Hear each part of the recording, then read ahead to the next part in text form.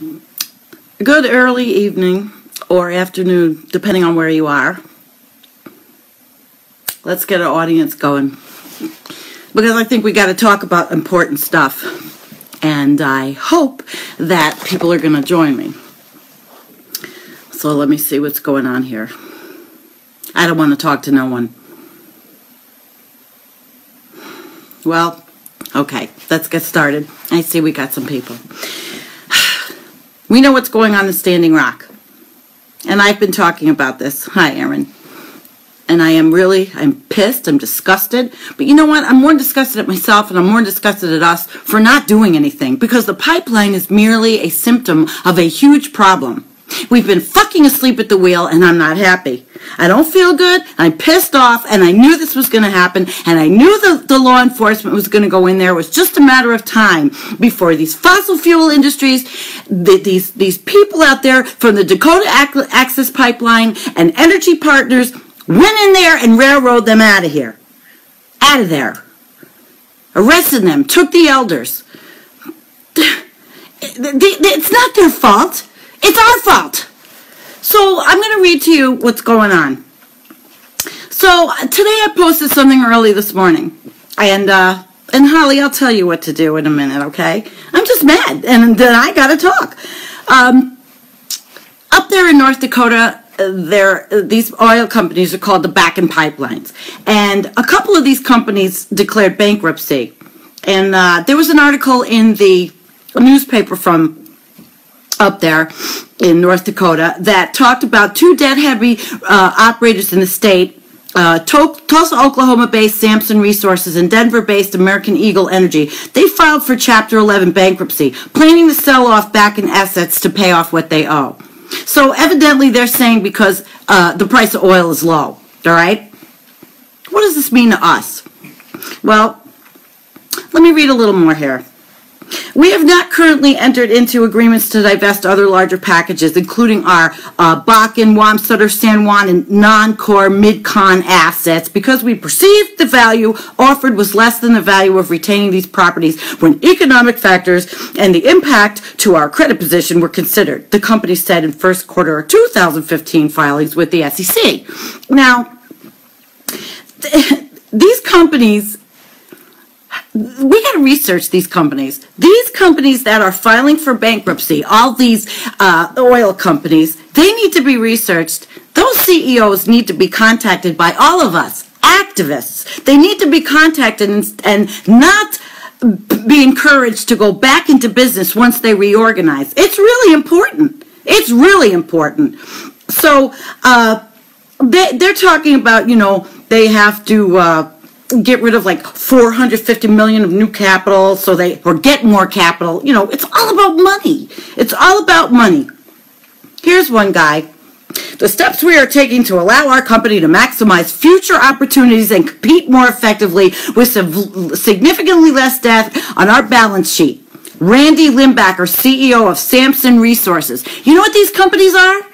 These companies look for opportunities to get more fossil fuels out of the ground and then they partner with those pipeline companies like Dakota Access and Energy Transfer.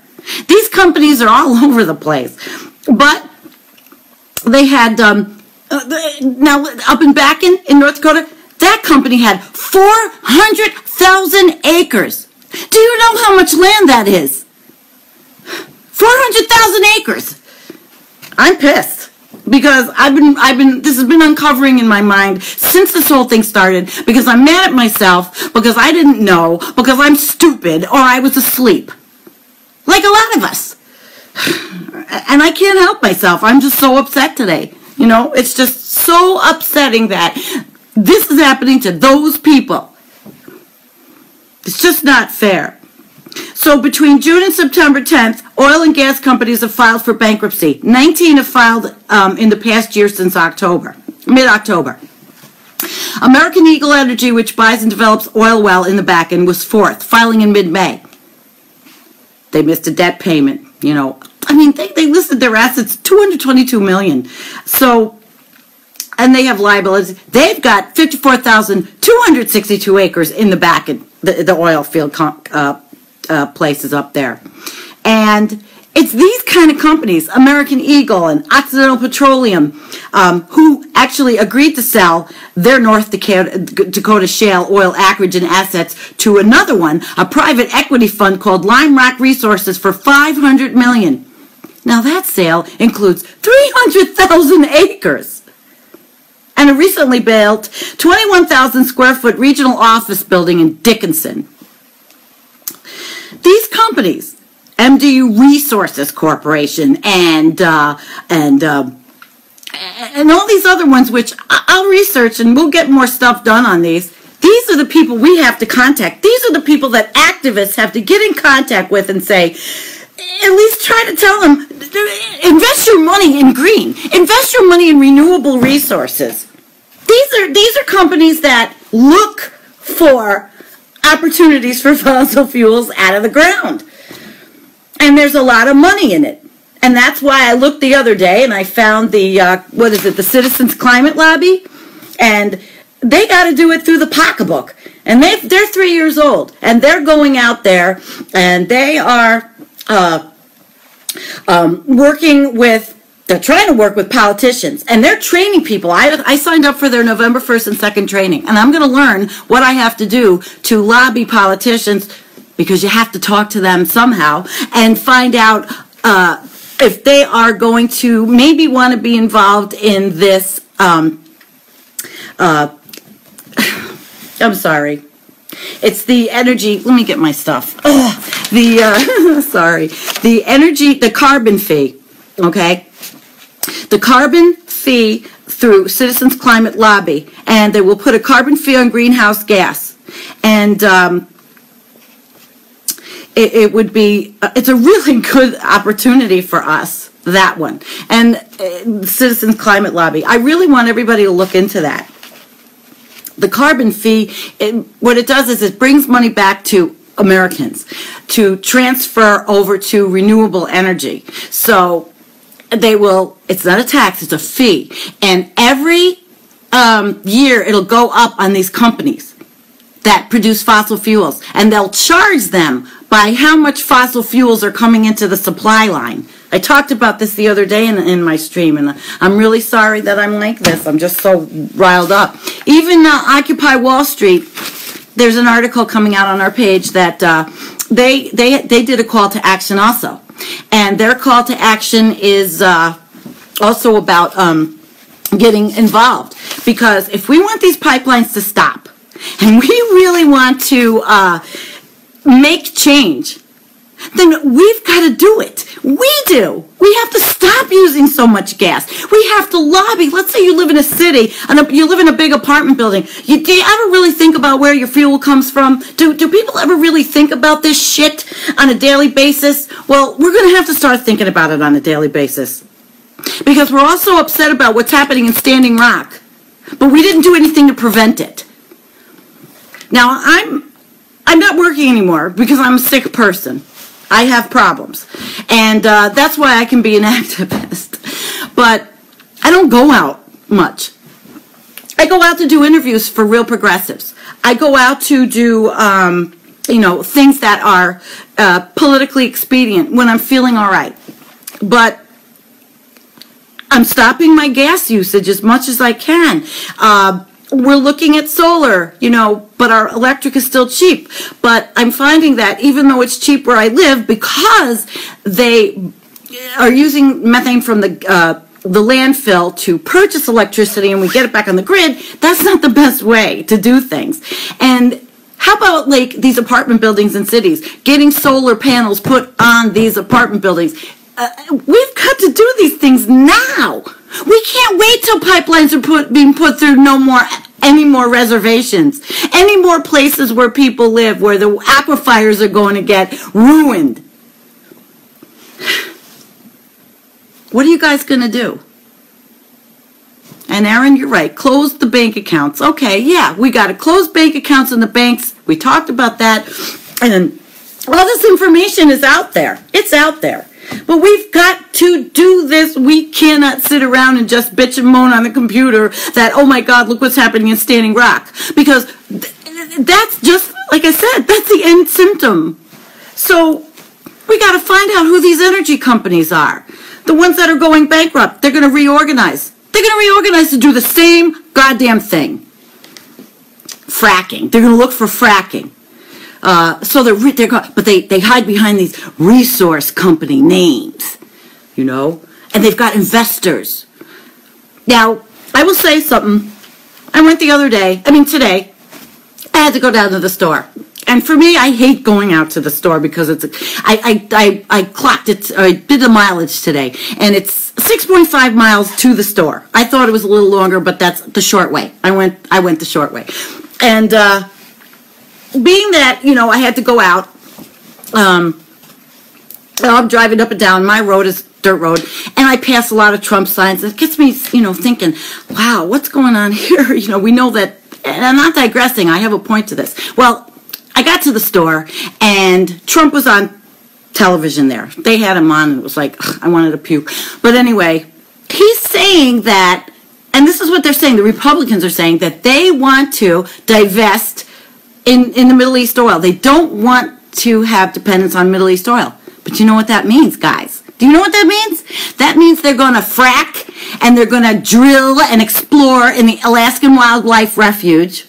They're going to uh, uh, uh, want people to sell their property in places like um, Utah. Utah, beautiful state. One of our real progressives, Katie, she lives in Utah, and she's telling me people are wanting to sell their property because these companies are willing to pay top dollar. Okay? So people are selling out all over. And it's wrong. And they have no conscience. And they're going to sell out so that we can fucking frack the United States up that's what the Republicans are saying. Okay, domestic, and then, you know, coal. Uh, coal.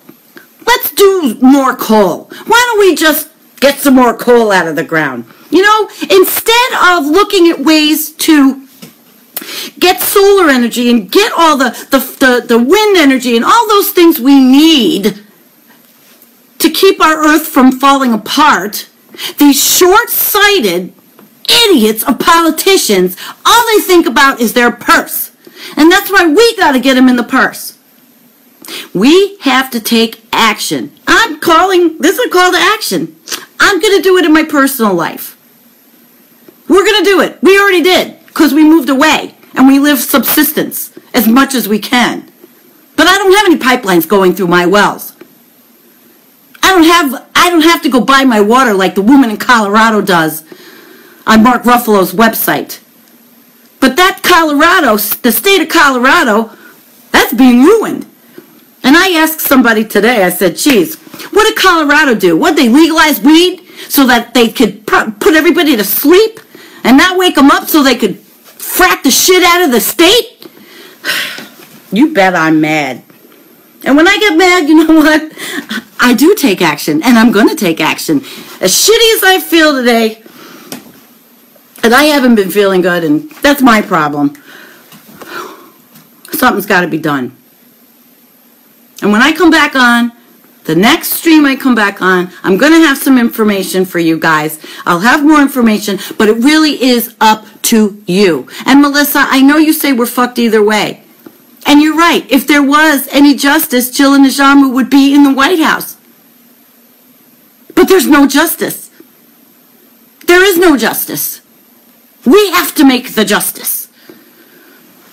We have to make this happen. And we got to get up off our cushy little lounge chairs and get off our asses and do something. So I'm going to join up with this Citizens Climate Lobby, or I'm going to at least see what they're about because I think that the carbon fuel fee could be a way to work. But you have to get these legislators into office that'll do this. Like Curtis Wylde, running on the Democratic ticket in state senate in Missouri. He's a new one. He he has a call to action because Bernie Sanders said run. He's a wrestler. He was a pro wrestler. I'm interviewing him, and he's going to be on Real Progressives because he's cool as shit. But he's for us. We have to run. Marsha, um, oh my God, she's my friend on Facebook people are starting to run, and that's the only way we can do this because it has to be politically and it has to be through the pocketbook. And we can boycott, that's good, and we can we can have demonstrations, fine, But the rank and file Americans don't give a rat's ass about demonstrations, do they? We've seen that over and over. And I, I like direct action. I'm not saying anybody shouldn't do direct action. But we got to do this action ourselves. We got to take it. And we got to do it. That's about it for me. So what's happening in Standing Rock is disgusting travesty. We need to do something else now and not let it happen again. I love you.